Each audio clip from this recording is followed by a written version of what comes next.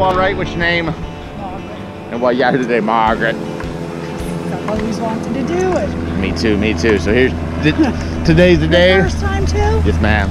So you come out here, Fernandina Beach, skydive on the island to throw yourself out of a perfectly good plane and flight. You excited about that? All right, me too.